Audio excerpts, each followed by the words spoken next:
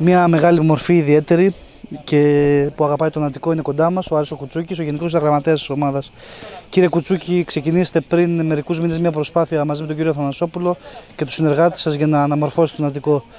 Πέρυσι είχατε μια εντυπωσιακή σεζόν, ε, ξεπεράσετε κάθε προσδοκία και ο Αττικός επιστρέφει στη β' κατηγορία, που δεν είναι η φυσική του θέση γιατί είναι μια μεγάλη ομάδα για τα δεδομένα της κατηγορίας.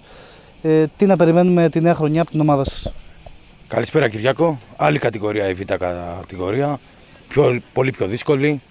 Ξεκινήσαμε πέρυσι να ξαναφτιάξουμε τον ιστορικό Αττικό. Φτιάξαμε ακαδημίες.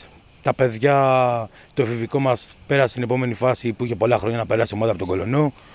Φέτος ξεκινάμε μια πορεία να εδραιωθούμε στη β' κατηγορία με έμπειρους παίχτες και πολλά παιδιά από τις ακαδημίες μας. Που είναι κατόρθωμα για μια ομάδα που είναι των 7 μηνών να έχουμε 7 παιδιά από τις ακαδημίες μας στην πρώτη ομάδα. Ε, έχετε πάρα πολλές δυσκολίες. Ε, Καταρχάς, να πούμε ότι είστε άνθρωποι φιλόδοξοι που σπαταλάτε πολύ προσωπικό χρόνο και χρήμα για την αγαπημένη σας ομάδα. Όμως υπάρχουν δυσκολίες με αυτό το γήπεδο που δυσκολεύει την προσπάθεια της ομάδας σας που είναι πάρα πολύ ποιοτική. Κάνετε σε ένα γήπεδο πολύ ιδιαίτερο που είναι σαν τσιμέντο κάτω. Ε, τι νέα υπάρχουν από το Δήμο σχετικά με το γήπεδο και αν θεωρείτε ότι θα υπάρχει κάποια εξέλιξη θετική ώστε να αλλάξει ο γλωτάπιτα και να γίνουν κάποιες βελτιώσεις στο γήπεδο. Δεν θεωρούμε ότι περνάμε δύσκολα γιατί αγαπάμε αυτό που κάνουμε, αγαπάμε τη γειτονιά μας, αγαπάμε την ομάδα μας. Δεν είμαστε μόνοι σε αυτό που κάνουμε, όλος ο κολονός είναι δίπλα μας. Όλη η γειτονιά στηρίζει τον Αττικό, το είδατε και πέρυσι και εσύ Κυριάκο ότι σε όλα τα παιχνίδια είχαμε 600-700 άτομα στο γήπεδο. Η δύναμή μας είναι αυτό το γήπεδο, είναι ο κόσμος μας και θεωρώ ότι ο Δήμος Αθηναίων θα μας βοηθήσει και στο θέμα του γηπέδου.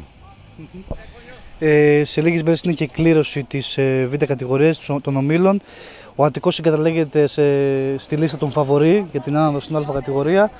Ε, κατά τη γνώμη σας, υπάρχουν ομάδες που θέλετε να αποφύγετε ή δεν κοιτάτε τους αντιπάλους σας; Ομάδες φαβορή και εσύ Κυριάκο με την εμπειρία σου έχεις δει να πέφτουν κατηγορία. Οι ομάδες κερδίζουν μέσα στον αγωνιστικό χώρο, μέσα στο γήπεδο. Ξεκινάμε να εδρωθούμε στη β' κατηγορία μια γρήγορη παραμονή και στο τέλος θα κάνουμε ταμείο. Δεν πιστεύω ότι δεν θέλω κάποιον αντίπαλο. Θεωρώ ότι θα είναι καλό και για την ομάδα μας και για την γειτονιά μας να ξαναδούμε παιχνίδια ιστορικά όπως με τη Δόξα Βύρονα, τον Άγιο Δημήτριο που είναι ιστορικές ομάδες και η κατηγορία τους δεν είναι η Β. Και πιστεύω ότι φέτος θα γίνει μια Β κατηγορία που, θα είναι, που, δε, που έχει χρόνια να γίνει. Το μήνυμά στον κόσμο της ομάδας. Πριν είπατε ότι είναι η δύναμη του Αττικού. Νομίζω αποτελεί το 12ο παίχτη. Είστε μια ομάδα που μπορεί να αγωνίζεται σε μικρές κατηγορίες, αλλά υπάρχει ένα άγχος όσον αφορά τους αντιπάλους που έρχονται εδώ. Ε, διότι σε αθλητικά πλαίσια πάντα δημιουργούν μια τρομερή ατμόσφαιρα και δίνουν όθηση στην ομάδα. Το μήνυμα του Άρη Κουτσούκη στον κόσμο του Αττικού. Ο κόσμος του Αττικού δεν είναι ο 12ο παίχτης, είναι ο πρώτος παίχτης. Έχουμε δείξει τη δυναμική μας στο γήπεδό μας. Δεν θεωρώ ότι καμία ομάδα που έρχεται αντίπαλος στον κολονό έχει να φοβηθεί κάτι. Δεν έχουν γίνει ποτέ επεισόδια, δεν έχει δημιουργηθεί ποτέ πρόβλημα με καμία ομάδα. Έρχονται κύριοι, φεύγονται, φεύγουν κύριοι. Θεωρώ ότι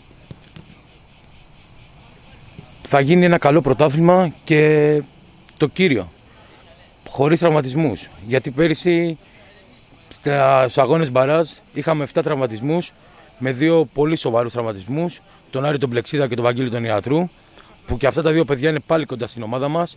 Ο Άρης ο Πλεξίδα από άλλη θέση λόγω του όριου ηλικίας. Και ο Βαγγέλης Ιατρού τον περιμένουμε γερό και δυνατό να ξαναγυρίσει στην ομάδα μας.